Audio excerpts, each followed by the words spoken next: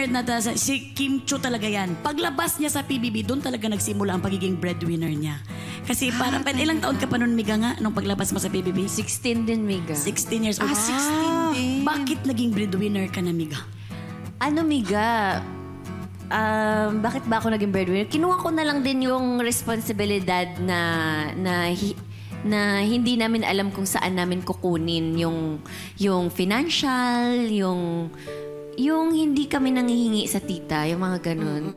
I- Wala naman nagsabi na Kim, ikaw magbuhay sa amin. Eh, Kim, ikaw magpaaral sa amin. Parang, anin ko tong pera. Tapos meron naman akong money. Parang, hindi ko naman to inula naman akong bisyo or parang para saan yung pera na binigay sa akin na nabigyan ako at at a young age nabigyan ako ng opportunity ni God na Correct. Para saan to? So yun. Shinare ko Walang nag-obliga sa'yo. Talagang bukas na bukas sa loob mo ang wala gawin naman